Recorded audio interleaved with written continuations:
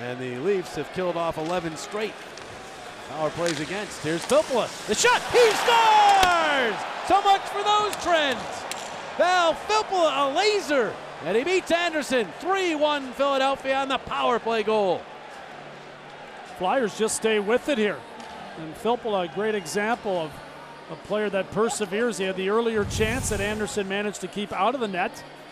And the Flyers get going on the offense here. Gostisbehere started the play, Konecny with another terrific assist, and Filppula buries it upstairs. Yeah, really nice pass here by Konecny. Good mo- uh, move by Gostisbehere getting it up to him. That's just an unbelievably good shot.